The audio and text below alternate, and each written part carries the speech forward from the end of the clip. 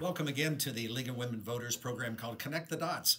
The Missouri State Legislative Session is going to begin their 2023 session early in January. So today we interview a Boone County legislator about their priorities and plans for the upcoming session. We have as our guest Cheri Toalson Reisch, who represents the 44th District, and this is her fourth and final term. Welcome. How are you? Thank you, David. Glad to be here. Let me ask you, how long ago does 2016 seem? It flies. It went fast. Tell me about uh, what you what your thoughts are entering this final legislative session as a state rep. Well, I'm happy that I'm in the supermajority of Republicans and um, looking forward to getting a lot of things accomplished this year. Uh, it's been a kind of a strange last few years in Jeff City. We had to deal with COVID in 2020. Uh, in 2022, we had to work on the congressional maps, which took a very lot of work and time and was contentious. And so we hope to have smooth sailing in 2023. I asked this of Senator Rowden a few moments ago before we record your session, and that is, what do you wish you knew back when you started that you know now? Hmm. Politics is dirty. Um, I tell you, it's hard work, and um, you you learn a lot as you go, but it's very rewarding. And um, uh, I think the best part of my job is uh, helping constituents. Tell, tell me about that. Tell me how, uh, especially for those who are listening, I think the League of Women Voters have very plugged in members, so they are pretty aware of, of how to contact and how to stay up with what happens in Jefferson City. But there are a lot of people that don't. What is uh, your advice for those who say, I, I want somebody to listen to me, I want somebody to hear what is a concern of mine? Sure. So there's so many different ways. Um, you know, you don't have to drive to Jeff City to talk to your legislator. You can call them, you can email them. I mean, throughout the district constantly. They can see me face to face. You know, they can show up at my house if they need to. But, um, you know, I think we're all very available and uh, we like hearing from constituents. Tell me about how the district has changed. 2016 doesn't seem that long ago, but it kind of is when you and, mm-hmm. and, you mm-hmm. outlined a while ago a lot of things that have happened in the six years almost seven years now so how has your district changed so uh, for my first three terms, I was in what they call a 50-50 district. I was basically half Columbia, which votes Democratic, and half rural, which votes conservative. And uh, so with the redistricting, when I went into this in 2016, I didn't know if I would even get a fourth and final term, depending on how the redistricting went. So I've lost uh, uh, part of Randolph County in the city of Sturgeon, but now I'm completely rural, have no city of Columbia, and um, although I still have parts of Columbia School District, but uh, my new district will include Centralia, Hallsville, and all of southern Boone, uh, south of 163, not just Ashland, but Pierpont, Guthrie, McBaine, um, mm-hmm. Hartsburg. It's, it's, it's an interesting district, especially mm-hmm. when you say, and we've talked to the other state representatives, you have more experience than all of them mm-hmm. combined. Mm-hmm but you're representing a really different part of the Boone County than what they represent. Absolutely. So, you know, Boone County is is very unique in that we're half rural, half urban, half uh, Democrat, half Republican, and we're a very purple county. So um, I think this district gets more back to my roots. I come from the small town of Hallsville, former mayor there, was the city clerk court administrator for 30 years. Um, I, I, do pro bono work for Hartsburg for about the last decade, and I advise a lot of the cities uh, on different things. So I love having experience under my belt. I've been working in government 40 years, and I think I'm just a huge asset with my knowledge. What uh, did you learn being mayor that has helped you as a state rep?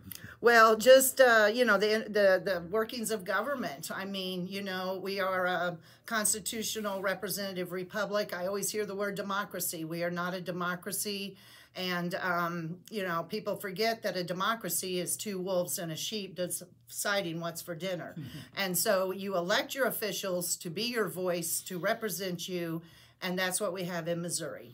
So, um, going into the legislative session that begins pretty shortly, what are you? What are your priorities? What are you going to be working on now with the experience heading into your fourth and final term as a state rep? What's uh, what's high on your priority list? Well, we have many things. I think one of the the big topics is initiative petition reform. No matter how that may pan out or look like. Um, I have sat on the House Education or uh, Elections Committee for the last six years. I'm a former election authority. I've been seeing dead people on Boone County voter rolls for 40 years, and I'm passionate about elections. You know, nobody's being disenfranchised with the new photo ID law. Um, you know, nobody is turned away, and um, you know, you have to have an ID for everything. Why not to vote? So anyway, children, I sit on the education committee. So I think, you know, uh, there's so much wokeness and far left liberal indoctrination of our children in Boone County and Missouri. And uh, my concern is about these children with, um, you know, transgender dysphoria. It is a mental disorder when you're getting healthy body parts cut off and hormone therapies. You know, once you're 18, you can do with your body what you want. But um, you know, keeping girls out of boys, uh, boys out of girls sports, etc. You know, um, we need to get back to common sense and basics and uh, quit quit all these uh, woke ideologies going on. I think uh, some people who hear that would say those are issues that resonate with a certain proportion of the population. Definitely, those are of concern for them. But how big of a problem is it? For example, let's go back to the voter rolls. Help me understand.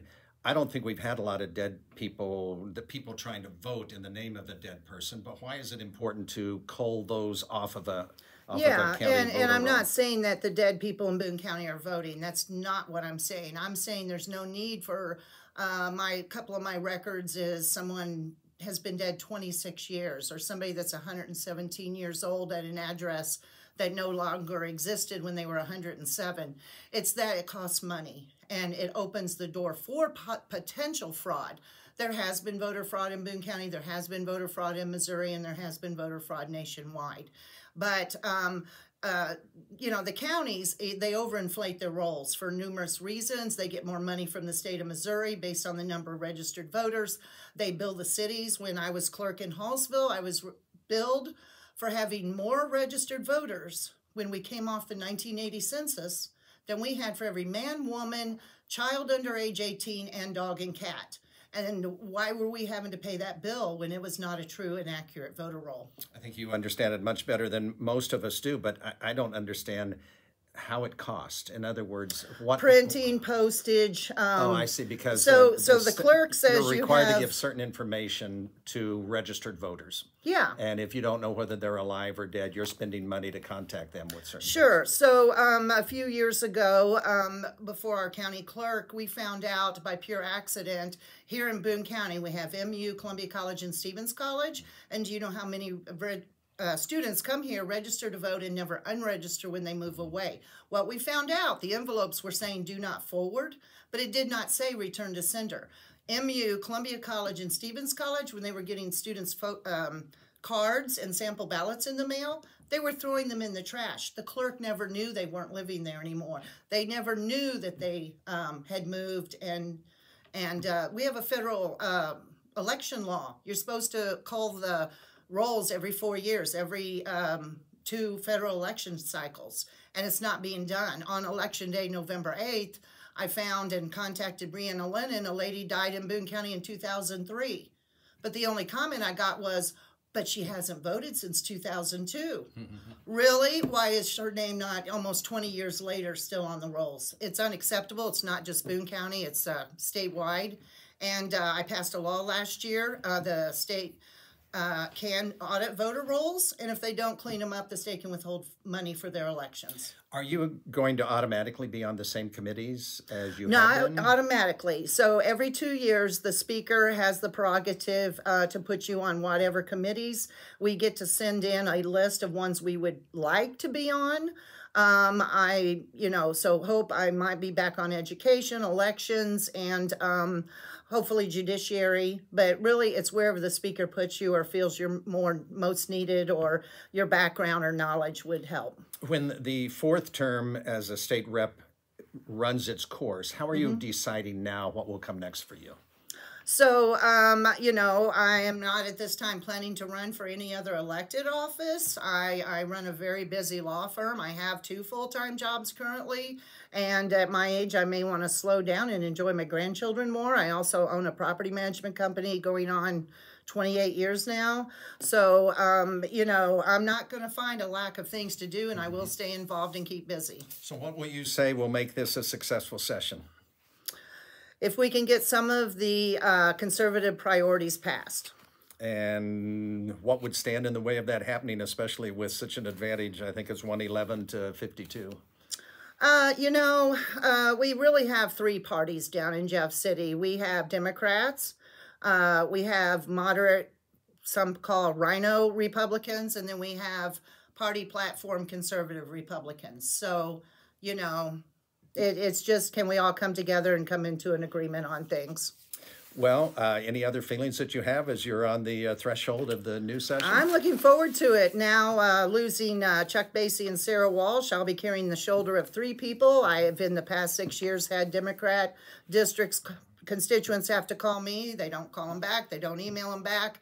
So now I have to do the work of basically five people uh, this year. So, um, you know, if somebody knows if you want a bill passed, you want something done in Jeff City, you have to go to a Republican. 44th State Representative Cheri Toalson Reisch, best of luck in this session. Thank you for your time today. Thank you, David. The uh, League of Women Voters thanks REDI for allowing us to use their uh, space for today's interview. And thanks to the League of Women Voters, there are three who are the producers of this show Diane Schuler, Sharon Schneeberger, and Carol Schreiber. The series of state legislator interviews is on YouTube and also posted on the League's website, which is lwvcbc.org. Thank you.